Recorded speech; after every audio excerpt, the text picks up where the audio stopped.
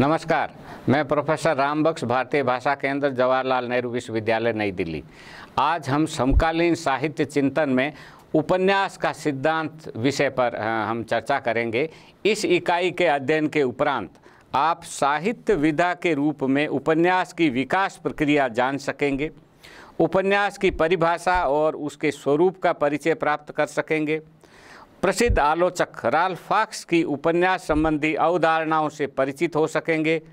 उपन्यास और यथार्थवाद के संबंध में की जानकारी प्राप्त कर सकेंगे और उपन्यास का समाजशास्त्र से कैसा रिश्ता है, इसे आप समझ सकते हैं। ये जो उपन्यास है, इसका जन्म आधुनिक काल में हुआ। प्राचीन काल में उपन्यास नहीं था। जब एक नई विधा हमारे सामने आती है तो वो अपना एक नया शास्त्र लेकर के आती है। तो उपन्यास को समझने के लिए किस तरह का शास्त्र, आखिर ये क्यों उपन्यास हमारे जीवन में आया। जब पत्र पत्रिकाएँ आपको ध्यान है, शुरू में जब उपन्यास आया था तो पत्र पत्रिकाओं में धारावाहिक रूप से छपा करता था। और फिर जिसे पत्र पत्रिकाओं के साथ एक सामान्य रचना की तरह पाठकों ने पढ़ने शुरू किया। बाद में जाकर के बहुत बड़े बड़े उपन्यासकार आए और उन्होंने इस इस विधा को एक साहित्यिक और कलात्मक गरिमा प्रदान की। इस उपन्यास के द्वारा कई चीज़ें होने लगी थी। एक जो शुरुआत के उपन्यासों ने किया था कि वो एक नैतिक शिक्षा का काम करते थे कि समाज में ऐसा अच्छा करना चाहिए, बुरा नहीं करना चाहिए, अच्छाई का फल अच्छा होता है। ये जो नैतिक शिक्षा वाले जो धारणाएँ थी, समाज सुधार होना चाहिए, हिंदी के उपन्यासों में आप देखते हैं कि पर्दा प्रथा नहीं होनी चाहिए, बहुविवाह नहीं होना चाहिए, स्त्रियों को शिक्षित करना चाहिए, शिक्षित स्त्री से बहुत फ़ायदे होते हैं, आदि आदि। तो ये जो नैतिक शिक्षा थी उसका ये उपयोग होता था। दूसरा जो था कि तब ये प्रश्न उठा कि क्यों उपन्यास थे? फिर ये उपन्यास है भाई जासूसी का था आपका मनोरंजन हो, आप पढ़ते चले जाओ और एक नशे के अंदर आप, आपके पाठक को ले जाते हैं और एक नई दुनिया के अंदर आप विचरण करते रहते हैं। फिर उपन्यास का का संबंध गद्य विधाओं से है। ये कविता की विधा नहीं है, ये काव्यात्मक नहीं है। जैसे महाकाव्य काव्यात्मक होता है, वो कविता के अंदर सारी बातें वो कहते हैं, वर्णन, कथा वगैरह सब चीज़ें काव्यात्मक होती है, लेकिन ये गद्य। तो किन परिस्थितियों में गद्य उत्पन्न हुआ? गद्य के उत्पन्न होने के बाद में ये उपन्यास नामक जो रचना है, वो कैसे आई? इसका जो प्रश्न है, वो प्रश्न इस उपन्यास की सैद्धांतिकी में या सिद्धांतों की जब हम चर्चा करते हैं तब आएँगे। तो ये जो विधागत रूप में एक और बात जो महत्वपूर्ण है उपन्यास के से, के सिद्धांतों पर चर्चा करने के लिए कि ये जो विधा है, कुल मिला के हमारे यहाँ पश्चिम से आई। हमारे यहाँ पहले नीति कथाएँ तो होती थी, हितोपदेश की कहानियाँ और वो कहानियाँ तो थी संस्कृत में हमारे, लेकिन ये ये महाकाव्य के टक्कर का, जो प्रबंधात्मक महाकाव्य होता था, उसकी टक्कर की एक नई विधा ये हमारे यहाँ पश्चिम से आई और उसे हमने अंग्रेज़ी में जिसे नॉवल कहा जाता था और हिंदी में हमने इसे उपन्यास नाम दिया। ये पश्चिम में औद्योगिकरण के साथ में विकसित हुई। औद्योगिकरण के साथ में एक मध्य वर्ग शिक्षित मध्य वर्ग पैदा हुआ। शिक्षित मध्य वर्ग की एक मानसिक भूख थी कि हमें समाज के बारे में, देश, दुनिया के बारे में हमको जानकारी प्राप्त करनी, जो समाचार पत्रों से पूरी नहीं होती, या जो सूचनाओं से पूरी नहीं होती, जो ज़्यादा लोगों से बातचीत नहीं करता ऐसे लोगों के लिए एक एक नया पाठक वर्ग जिसको कहना चाहिए था कि इस मध्य वर्ग का जो पाठक वर्ग पैदा हुआ, इस पाठक वर्ग के साथ में ये उपन्यास नामक रचना आई। इसके, इस पर जब ये उपन्यास, कई बार ऐसा होता है कि जब पहले साहित्यिक रचना आती है और फिर उसके, उसका शास्त्र निर्मित करता ऐसा नहीं हो सकता कि पहले ऐसे आप शास्त्र बना दो ये ये विशेषताएँ होती है, ऐसी आप आप रचना लिखो तो वो उपन्यास माना जाए। किसी भी रचना में, हर रचना में पहले रचना आती है और फिर उसकी, उसके बारे में विचार विमर्श होता है। तो ये गद्य युग में आया तो हेगल ने इसको परिभाषित करने की कोशिश की। हेगल ने कहा कि ये गद्य युग का महाकाव्य है। और ये एक तरह से गद्य युग का महाकाव्य कह करके हेगल ने इसके स्वरूप को निश्चित भी किया और इसके विकास पर भी आगे प्रकाश डाला कि चूँकि आगे उसके भविष्य में भी ये विकसित होने वाली विधा। माने जिसका कहने का मतलब ये है कि जब तक गद्य युग चलेगा, तब तक उपन्यास का महत्व रहेगा। तो इसी तरह से राल फॉक्स ने नोवल एंड दी पीपल नामक किताब में कहा कि ये बुर्जुआ समाज का महाकाव्य, इसमें बुर्जुआ समाज का वर्णन होता। किसानों का जमींदारों का, उनकी कथाओं का इसमें वर्णन नहीं नहीं होता। वो महत्वपूर्ण नहीं वो चीज़ें आपको पहले वाले, दूसरे वाले के अंदर आ जाएगी। इसी तरह से एक आलोचक है, मिशेल जिरेफा। उन्होंने कहा कि उपन्यास ऐसी कला है जिसमें मनुष्य सामाजिक और ऐतिहासिक दृष्टि से निरूपित होकर सामने आता। अब इनके जो पात्र है ये है कि ये कोई मिथकीय पात्र नहीं हो सकते। मिथकीय पात्र महाकाव्य में आ, आ सकते हैं।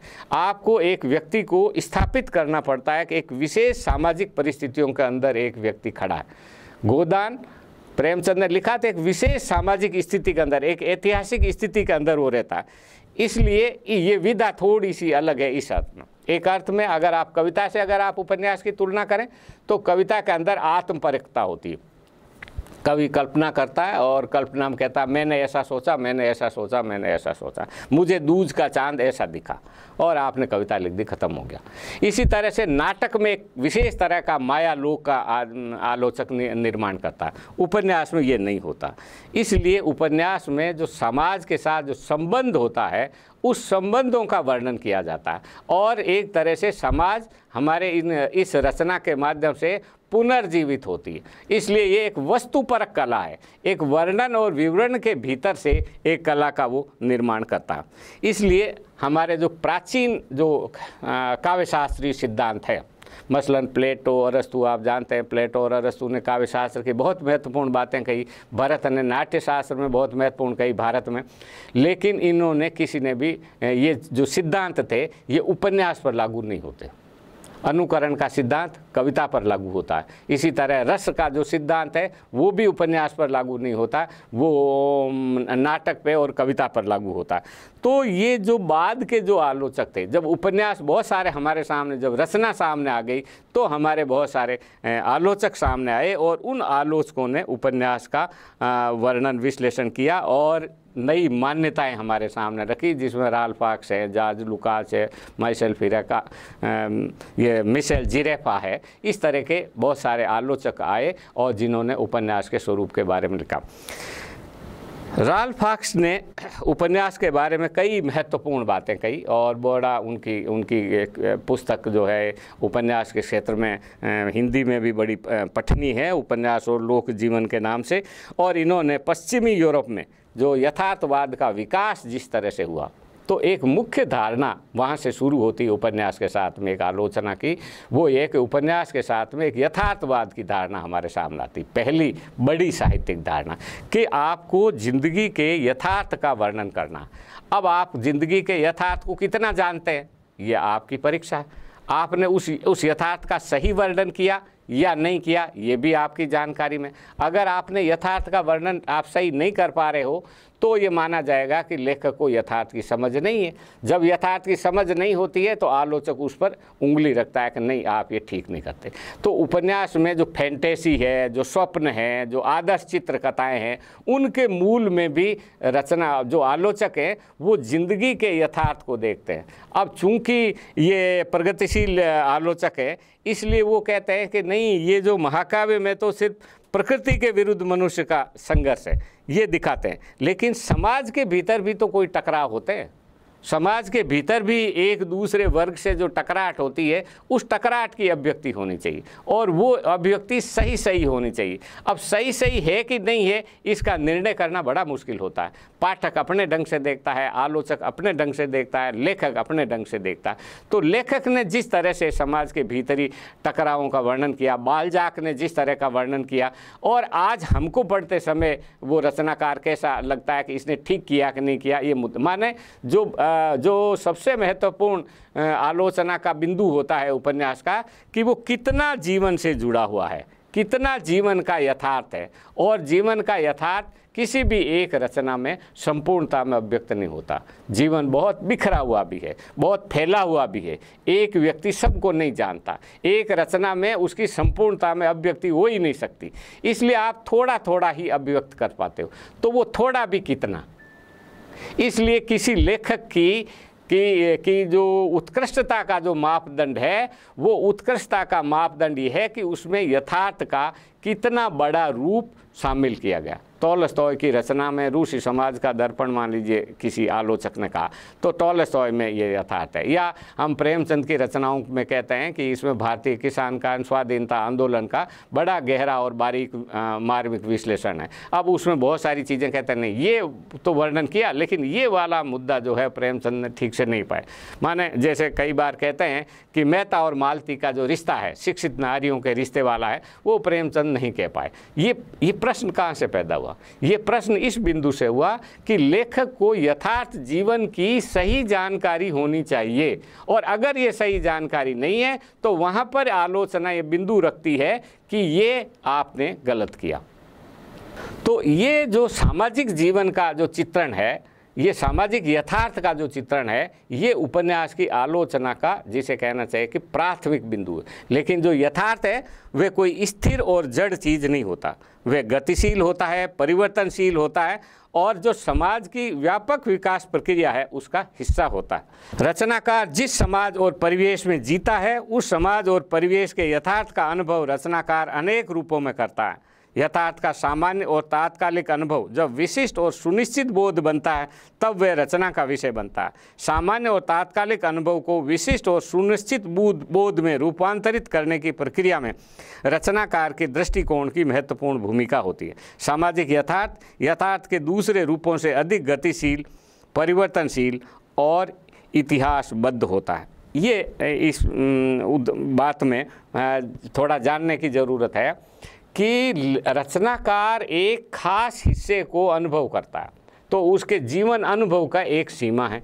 आपके जीवन अनुभव से बाहर भी समाज रहता है।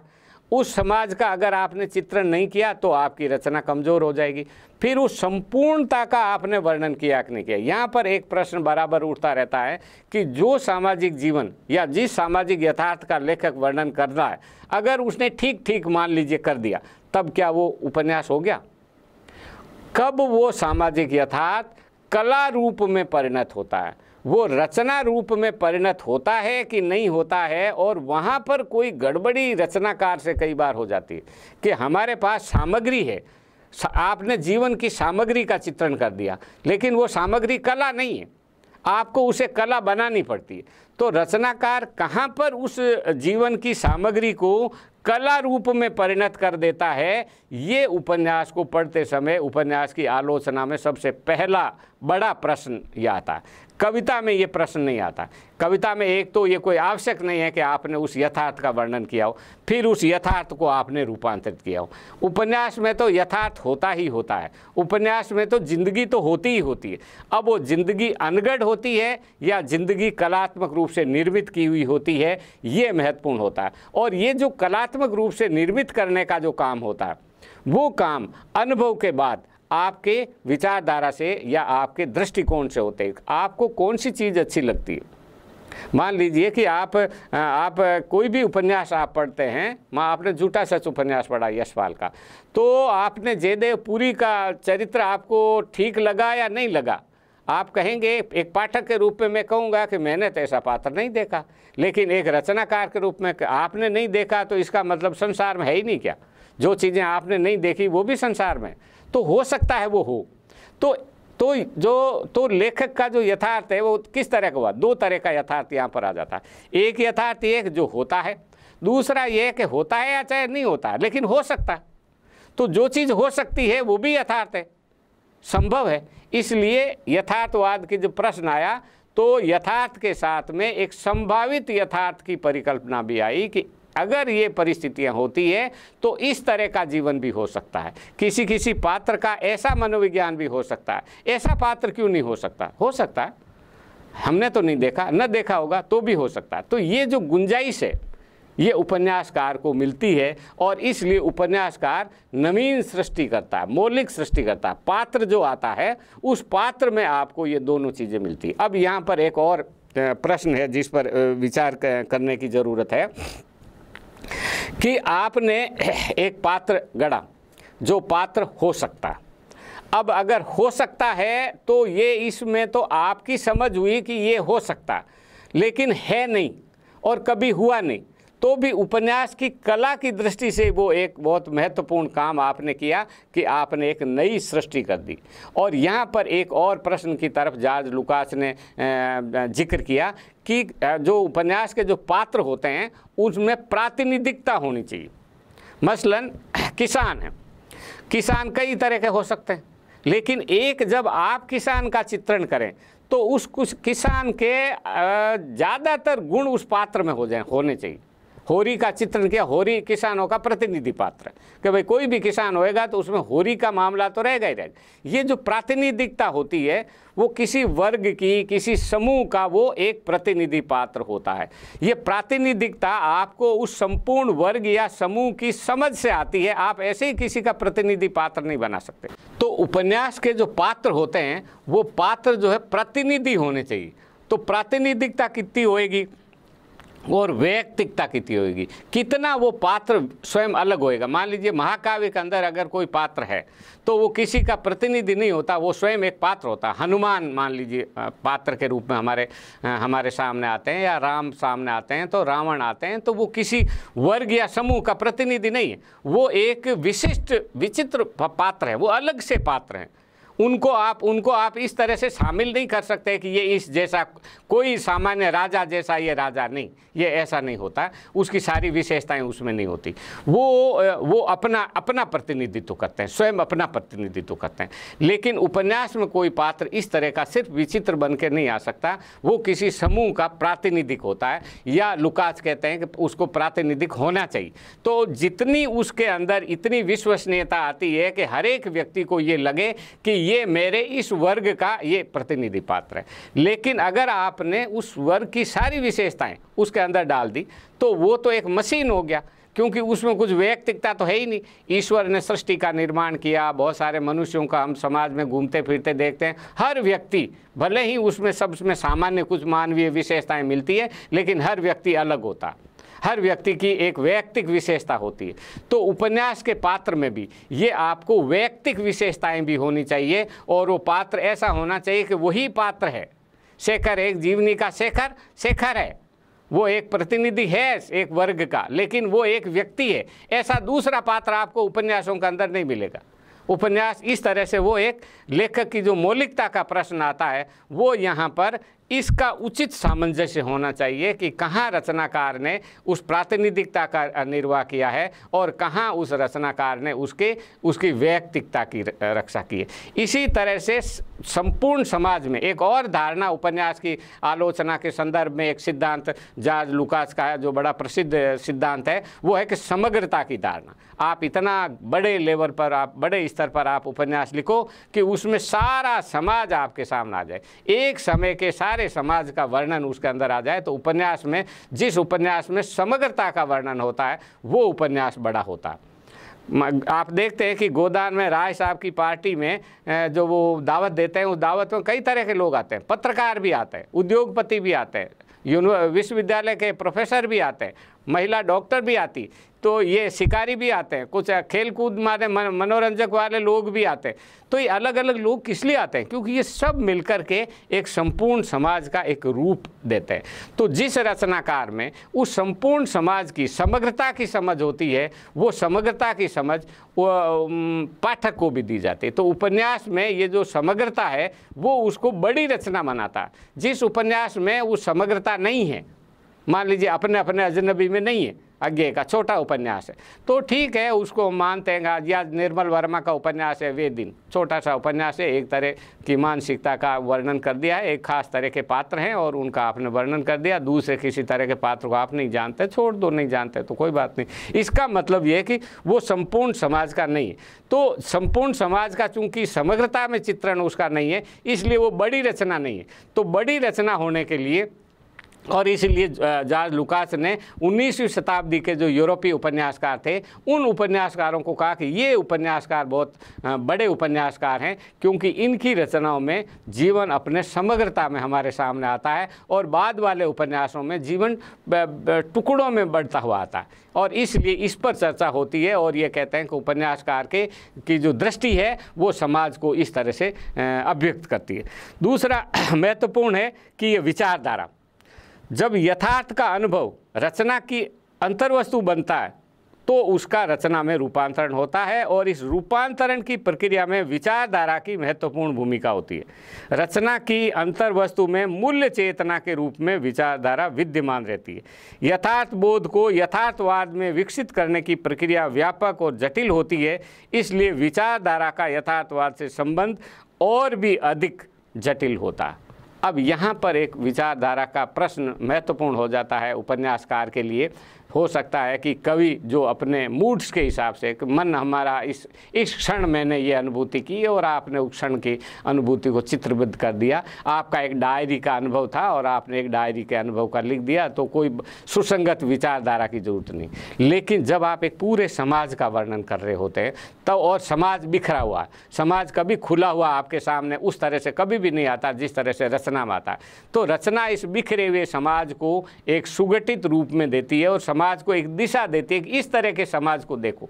उसके लिए विचारधारा की ज़रूरत होती है। इसलिए रचनाकार की विचारधारा यथार्थ को, ज़िंदगी को समझने में महत्वपूर्ण भूमिका अदा करती इसलिए ये जो रचनाकार की विचारधारा ये तीन स्तरों पर काम करती एक तो ये कि रचना की विचारधारा और यथार्थवाद की जो ऐतिहासिकता के स्तर पर, किस इतिहास के किस मोड़ पर रचनाकार ने रचना लिखी। है और उस रचना की अपनी क्या विचारधारा? दूसरा, रचना में दोनों के विशिष्ट स्वरूप के स्तर पर और फिर रचना की संपूर्ण संरचना में दोनों के संबंध के स्तर पर।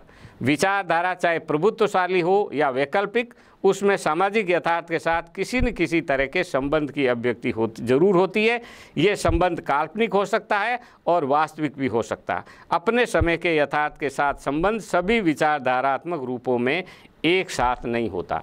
माने जब आप ये देखते हो कि आप विचारधारा का काल्पनिक रिश्ता हो सकता है। कोई ज़रूरी नहीं है कि उस यथार्थ के बारे में ही आप बात करें, कुछ और चीज़ों के बारे में भी बात कर सकते हैं। और वो विचारधारा, जिसको कहना चाहिए प्रभुत्वशाली वर्ग की विचारधारा है, या वो विचारधारा एक वैकल्पिक विचारधारा आमतौर से होता यह है कि जो रचनाकार है, वो एक वैकल्पिक विचार देता है। एक नई नई सृष्टि बनाता है, समाज को एक नया रूप देना चाहता है। और माना जाता है कि जो समाज के, जो स्थापित समाज है और स्थापित समाज के मूल्य, उनका वर्णन वो इस तरह से करता है कि इन मूल्यों में ये कमी रह गई और इसलिए एक आदर्श समाज हमें इस तरह का बनाना चाहिए। तो हमेशा एक आदर्श समाज की अवधारणा उस विचारधारा के भीतर रहती है कि ऐसा समाज अच्छा होता है। जिस समाज को हम देख रहे हैं, वो अच्छा नहीं है। तो ये जो अच्छा नहीं है और जो अच्छा है, इसका विवेक ही विचारधारा। और इसलिए इसलिए जो यथार्थ है, वो रचना में गतिशील रूप में हमारे सामने आता। यथार्थ परिवर्तित हो जाता, बदल जाता, और उसको बदलने की चेतना, और तीसरा ये कि लेखक चाहता है कि वो विचार बदल जाए, और ये समाज बदल जाए। लेखक की ये जो चेतना होती है लेखक के जो विचार होते हैं, वो किस तरह से एक पात्र की ज़िंदगी की गति बदल देते हैं? इसका उदाहरण अगर देखना हो तो बहुत मोटा सा उदाहरण है, जो गोदान में आप सब विद्यार्थी जानते हैं। कि गोदान में जो राय साहब है राय साहब की सारी इच्छाएँ जितनी भी मनोकामना हैं वो सब पूरी कर देते हैं। प्रेमचंद उसकी बेटी का का विवाह हो जाता है और लड़के की सगाई का निमंत्रण आता है और राजा की पदवी मिल जाती है मुकदमे सब माना सब चीज़ें एकदम व्यवस्थित हो जाती है और राय साहब का वो लगता है कि मेरा जीवन जो है वो तो आ, मेरा सुखी है। लेकिन उपन्यासकार जब उपन्यास समाप्त कर रहा होता है तब प्रेमचंद को लगता है कि ये पात्र बहुत ही बदमाश है। या इस पात्र का कोई ऐतिहासिक भविष्य नहीं है। आगे आने वाले समय में ये पात्र रहेगा ही नहीं। तो मेरे उपन्यास में ये सुखी संतुष्ट कैसे रह सकता? तो उन्होंने एक प्रकरण डाला और ये डाला कि बेटी ने तलाक ले दिया। और तलाक जो है उस समय के जो भारतीय समाज है, उस समाज में अच्छा नहीं माना जाता था और राय साहब की सारी प्रतिष्ठा धूल में मिल गई। इसके बाद में जो पुत्र है, उसने कहा, मैं तो इस, आपने जिस लड़की से विवाह के लिए मेरे को कहा, वो मैं तो नहीं करता हूँ। तो इस तरह से जितनी उसकी कामनाएँ पूरी हुई थी, वो सारी कामनाएँ वो मिटा देते हैं। क्यों मिटाते हैं? ये मिटाने का काम प्रेमचंद की विचारधारा करती है। क्योंकि प्रेमचंद ये मानते हैं कि स्वाधीन भारत में या आगे आने वाले समय में या अंत में ऐतिहासिक रूप में जमींदारों का या इन राय साहबों का कोई भविष्य नहीं है, इसलिए ये पात्र नष्ट होंगे। उपन्यास में ये पात्र नष्ट होते हैं, लेकिन खन्ना नष्ट नहीं होता। खन्ना मिल मालिक है, उसकी मिल जल गई है, लेकिन वो नष्ट नहीं होता, वो पूरे ताकत से वापस वो जो शुरू हो जाता है। ये क्यों करते हैं प्रेमचंद? क्योंकि यहाँ पर यहाँ पर प्रेमचंद की एक समझ है कि खन्ना का भविष्य बना रहने वाला है, उद्योग धंधों का विकास इस देश में आगे भी होएगा, और ये उद्योग धंधे समाप्त होने वाले नहीं हैं। इस समझ की आपको झलक, झांकी आपको गोदान में दिखने ये कहाँ से आता? सारे पात्र आपके सामने, सबका निर्माण आपने किया। तो इस यथार्थ का जो जो रूप बदला, ये जो बदला हुआ रूप है, ये लेखक की विचारधारा से आता है। और हर रचनाकार उस विचारधारा के अनुसार विचार करता है और वो बताता है कि ये संबंध आगे ऐसे रहेगा। तो उपन्यास की जो आलोचना है इस आलोचना में ये जो विचारधारा का प्रश्न है, ये महत्वपूर्ण आता है क्योंकि उसके बिना आप यथार्थ को नहीं समझ सकते, इसलिए यथार्थ और विचारधारा का युगपत संबंध उपन्यास की आलोचना में होता है। एक आलोचना की एक और सिद्धांत भी चलता है, जिसमें कहते हैं कि अच्छा चलिए, विचारधारा भी ठीक है, यथार्थवाद भी ठीक है, जीवन की वास्तविकता भी ठीक है तो क्या कला के रूप में इसका कोई महत्व है कि नहीं है? उस कला रूप के रूप में भी हमें इस उपन्यास के बारे में सोचना चाहिए। और निर्मल वर्मा ने कई सारे निबंध हिंदी आलोचना में लिखे हैं और यूरोपीय आलोचना में भी उपन्यास के रूप पर, उपन्यास के शिल्प पर और उसमें रचनाकार की जो कलात्मकता होती है, उस पर काफ़ी विचार किया। इस वास्तविकता का जो वर्णन है, उपन्यास जब कथा अपना कहता है तो एक प्रातिनिधिकता की शैली है और दूसरा प्रतीकात्मक रचना पद्धति है, उसका भी इस्तेमाल करते हैं। कोई पात्र किसी एक खास चीज़ का प्रतीक है और उसके बाद में उसका वर्णन किया जाता है और हालाँकि वो वर्णन भी उसमें है। एक और बात जो इस संदर्भ में यहाँ ध्यान रखने की है कि ये जो रूपवाद है, ये रूपवाद का संबंध उपन्यास से कभी नहीं जोड़ा गया। आमतौर से रूपवाद का संबंध चित्रकला से माना जाता है लेकिन कविता से आप उसका कर सकते हो। थोड़ी बहुत कहानी में भी, हालाँकि कहानी में भी इसकी कोई संभावना नहीं होती। उपन्यास के संदर्भ में रूपवादी जितनी मान्यताएँ हैं, वो मान्यताएँ अप्रासंगिक होती है और विशेष रूप विशेष रूप से अमूर्तन की जो कलाएँ हैं, अमूर्तन की कलाएँ जो है, वो उपन्यास के सिद्धांतों में लागू नहीं होती। तो इसमें चूँकि यथार्थ रहता है ठोस रहता है वास्तविक रहता है ऐतिहासिक यथार्थ होता है। इसलिए इस यथार्थ की अभिव्यक्ति में आ, हमको ये रूपवाद के दर्शन नहीं होते। सारे सिद्धांत जीवन यथार्थ से जुड़े हुए होते हैं और यथार्थ के रूपों पे होते हैं। जब आप पूरे उपन्यास की संरचना की बात करते हैं तब आप कहते हैं कि 19वीं शताब्दी के उपन्यासों में समाज के किस किस हिस्से का प्रतिनिधित्व मिलता है? या राजाओं का कैसा कैसा प्रतिनिधित्व है? या हमारे यहाँ कहते हैं कि साहब आपने कितने प्रकार के नौकरों का किया किया है कि नहीं किया? डॉक्टर के पैसे से जुड़े हुए लोगों का वर्णन आपके उपन्यास में है कि नहीं है? आपके उपन्यास में जो इंजीनियर हैं, वो किस तरह के इंजीनियर हैं? जैसे प्रेमचंद पे के उपन्यासों पर चर्चा करते समय लोगों ने उंगली रखी है, आलोचकों ने कहा कि इसमें अंग्रेज़ फौज का कहीं खास वर्णन नहीं। एक आध जगह कायाकल्प ने, में या किसी में एक फौजी आते हैं, कर्मभूमि उपन्यास में दो फौजी आते हैं थोड़ी देर के लिए, जब मुन्नी का बलात्कार होता है। बाकी किसी जगह पर फौज है ही नहीं। जबकि सारा शासन अंग्रेज़ फौज के द्वारा भारत में होता था। उसका वर्णन नहीं। तो क्या क्यों वर्णन नहीं? क्योंकि प्रेमचंद उसके, के अनुभव का हिस्सा नहीं है। अब नहीं है तो क्या हुआ? हमें तो उस समय के समाज की, के उस रूप का पता नहीं चलता। तो जा, लुकास कहते हैं कि ये देखिए, समग्रता के के सिद्धांत के हिसाब से ये उस उपन्यास का या उस पूरे कालखंड की एक तरह की वो कमी मानी जाती। तो इन चीज़ों के आधार पर उपन्यास की आलोचना का आगे विकास होता है और विशेष रूप से यथार्थवाद के विविध रूपों का चित्रण और वर्णन उपन्यास में देखने को मिलता है। उपन्यास की आलोचना के संदर्भ में आगे चल करके उपन्यास का समाजशास्त्र भी विकसित हुआ और इस संदर्भ में लुकास की बड़ी महत्वपूर्ण भूमिका है और उनकी एक किताब 1916 में प्रकाशित हुई थी, उपन्यास का सिद्धांत। उस समय उपन्यास जॉर्ज लुकास मार्क्सवाद से प्रभावित नहीं थे और उसके बाद में जो दूसरे समाजशास्त्री थे लूसी गोल्डमान थे, उन्होंने इसके ऊपर किताब लिखी। तो इसमें आगे चल लेकर के लुकास ने और दूसरे जो आलोचक थे, उन्होंने दो आलोचना के यथार्थवाद के दो मानदंड बनाए। एक आलोचनात्मक यथार्थवाद और दूसरा समाजवादी यथार्थवाद। आलोचनात्मक यथार्थवाद उन्होंने मोटे तौर पे उससे कहा, जिसमें समाज की आलोचना की गई कि ये समाज का हिस्सा ठीक नहीं है, ये समाज का हिस्सा ठीक नहीं है, ये शोषण हो रहा है, ये गलत है, ये अन्याय, अत्याचार गलत है, इससे हम सहमत नहीं हैं और आगे क्या करेंगे, ये सब नहीं। और दूसरा हिस्सा जो मार्क्सवाद से प्रभावित हो कर आया, उन्होंने इसका वर्णन किया कि अंततः ये सारा समाज समाजवाद की स्थापना करने के लिए जाएगा। तो समाजवाद की जो स्थापना करने वाले जो में जो विश्वास करने वाले लोग थे, वो समाजवादी यथार्थवाद के रूप में उनका वर्णन उनके, उनका ज़िक्र किया जाने लगा। हालाँकि बहुत सारे ऐसे आलोचक हैं जिन्होंने समाजवादी यथार्थवाद को कोई बहुत महत्व तो नहीं दिया और आजकल भी यथार्थवाद की जब हम ज़िक्र करते हैं तब हम सिर्फ़ आलोचनात्मक यथार्थवाद की ही बात करते हैं, क्योंकि समाजवादी यथार्थवाद की बात करने का कोई विशेष मतलब नहीं होता। कुछ दूसरे तरह के आलोचक भी विशेष रूप से बाख्तिन एक आलोचक रूसी हुआ था। उन्होंने रूपवाद की आंतरिकता की धारणा के अतिवाद से उबरने की दिशा दी और साथ ही मार्क्सवाद की प्रतिबिंबनवादी मान्यताओं को भी खारिज किया। उन्होंने भाषा और कल्पना की संवाद धर्मिता पर ज़ोर दिया।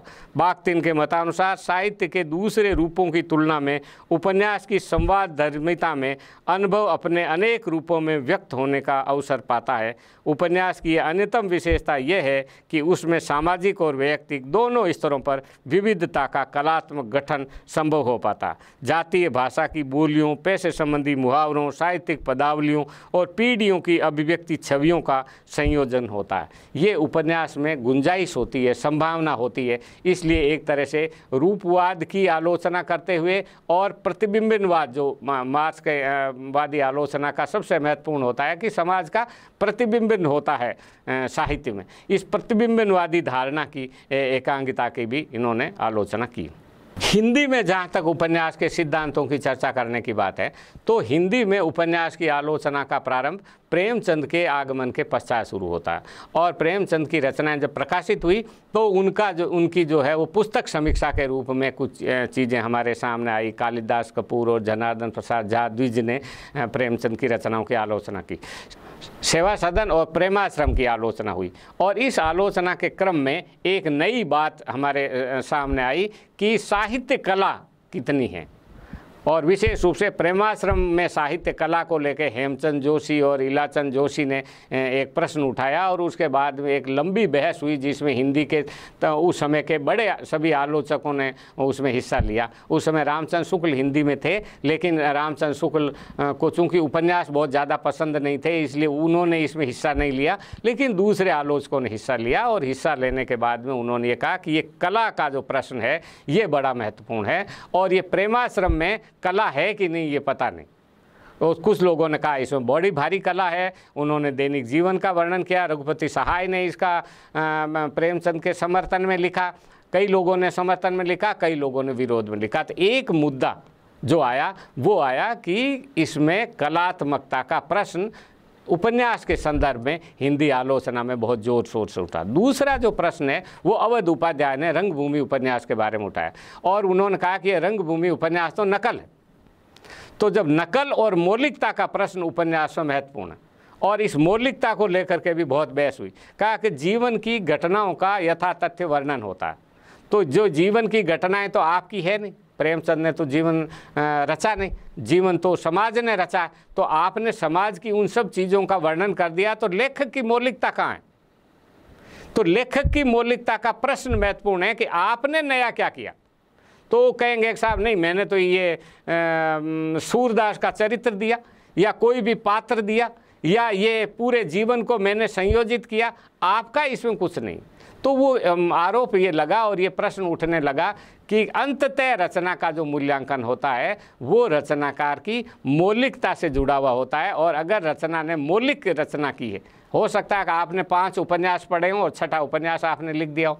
अंग्रेज़ी के उपन्यास लिखे, उसी की छाया में आपने हिंदी में उपन्यास लिख दिए हो। तो ये छाया कितनी महत्वपूर्ण है।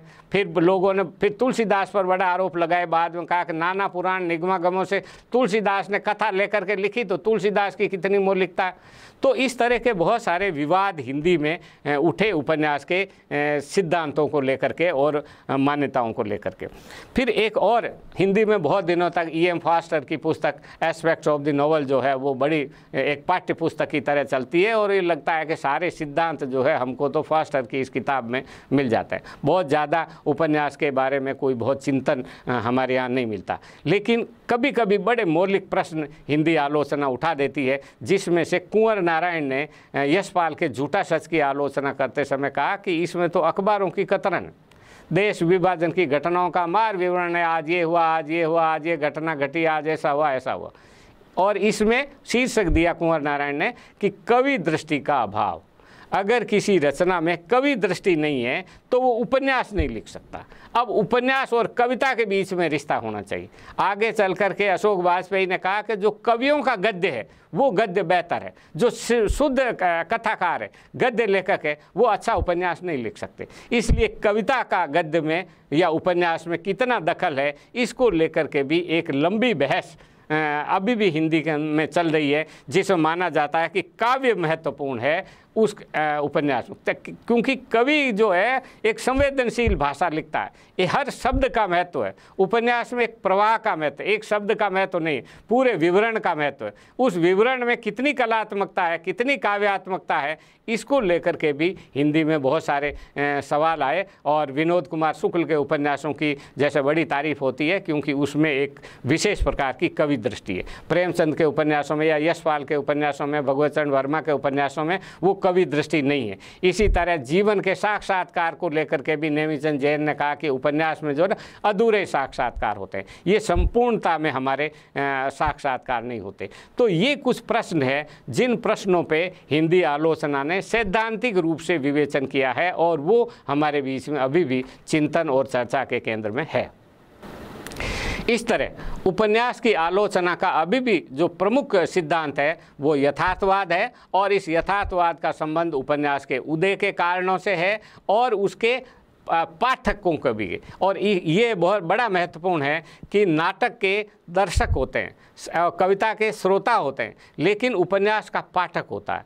और ये पाठक का जो मनोविज्ञान होता है, वो उपन्यास के रचना को प्रभावित करता है, इसलिए एक विशेष प्रकार की एक पाठकवादी आलोचना भी है कि मैं जब उपन्यास पढ़ रहा होता हूँ तो मैं उस उपन्यास की पुनर् रचना कर रहा होता हूँ कि यदि मैं होता जयदेंद्र कुमार ने कहा कि अगर मैं गोदान को लिखता तो कैसा लिखता?